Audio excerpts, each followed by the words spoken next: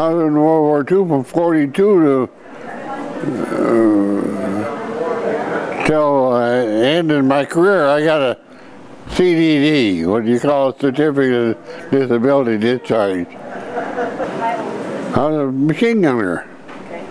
I was a late 30 air-cooled machine gun. It it happened. Everything happened so fast. You don't know what's happening, and and so uh,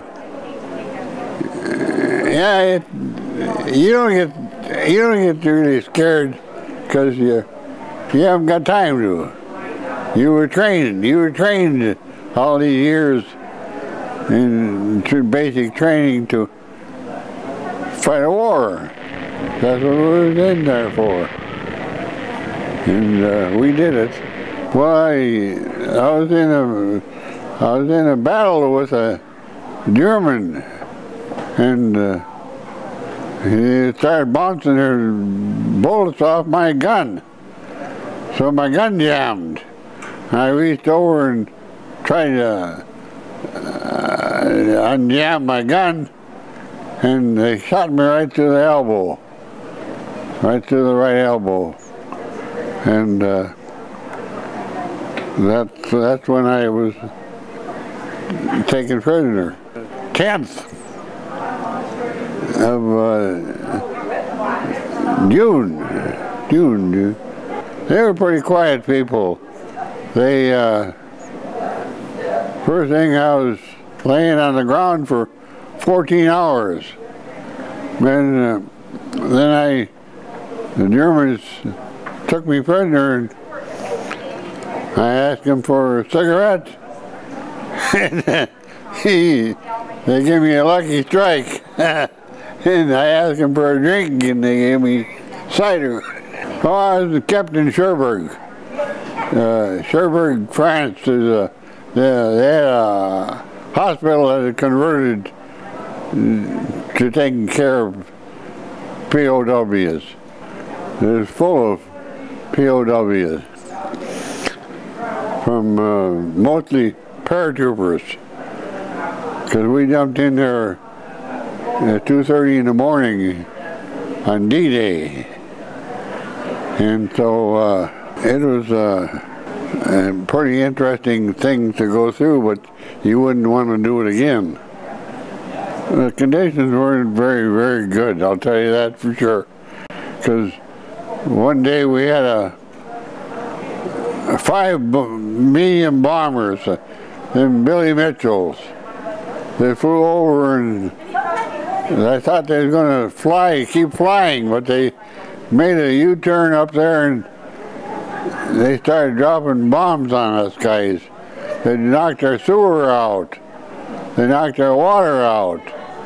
And they knocked everything out uh, that was power, any power to it. So if you had to go relieve yourself, well, there's the yard, the whole yard. They put a cast on me. And uh, when I got back to England, the English doctors put a different uh, cast on it, but the same identical cast.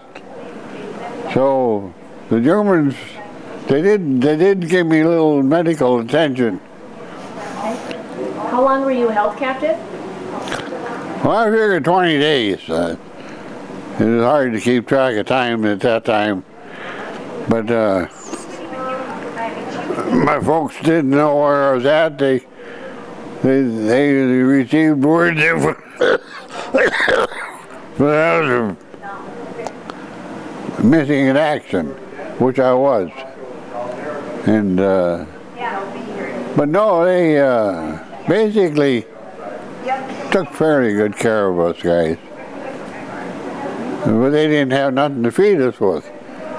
We got ready for to feed us, then the airplanes would be upstairs and then they'd, they'd call that off.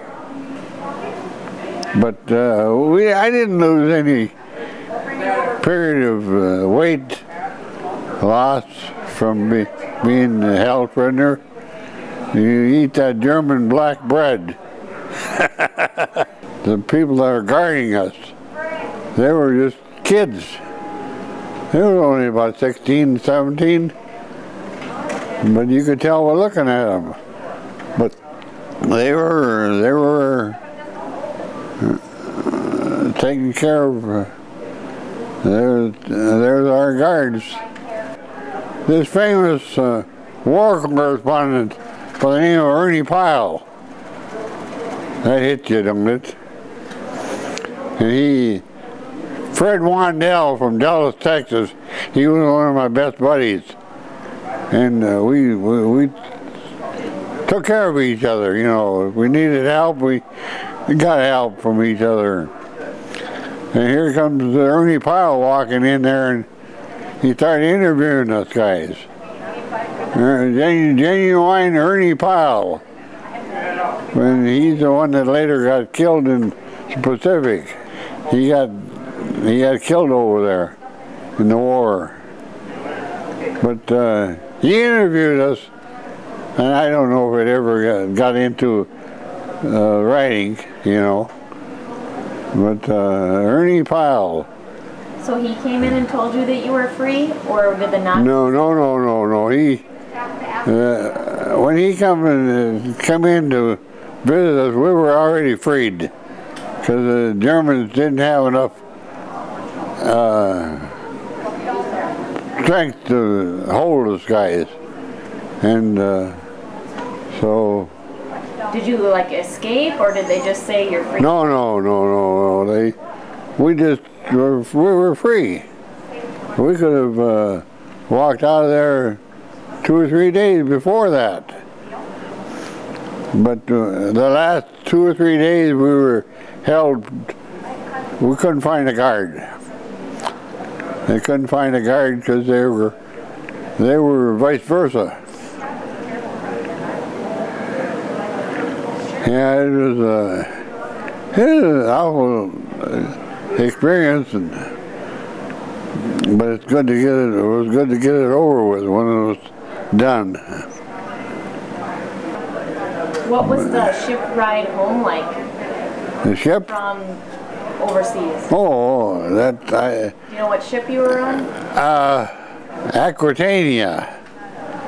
Never, never, n- never knew a single soul. But I was the happiest guy in the world because I was heading for Statue of Liberty.